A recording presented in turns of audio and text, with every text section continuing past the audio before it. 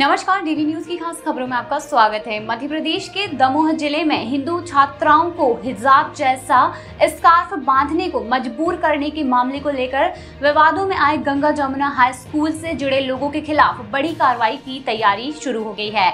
एक तरफ़ जहाँ गिरफ्तारी का दौर शुरू हो गया है तो वहीं इस मामले से जुड़े लोगों के ठिकानों पर बुलडोजर चलाने की तैयारी है।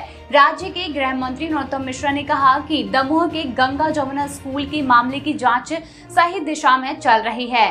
प्याज के छिलकों की तरह एक के बाद एक परत छिलके की तरह उखड़ती जा रही है।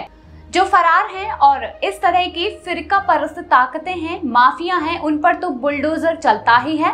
गौरतलब है कि पिछले दिनों स्कूल का एक पोस्टर विवादों में आया था, जिसमें हिंदू बालिकाओं के हिजाब से मिलता जुलता स्कार्फ पहनते हुए दिखाया गया था।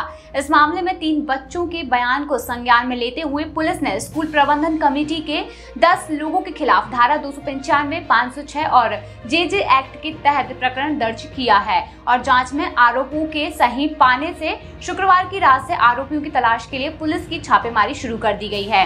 इस मामले में पुलिस ने तीन लोगों में, जिसमें प्राचार्य और दो अन्य हैं, उनको गिरफ़्तार कर लिया है।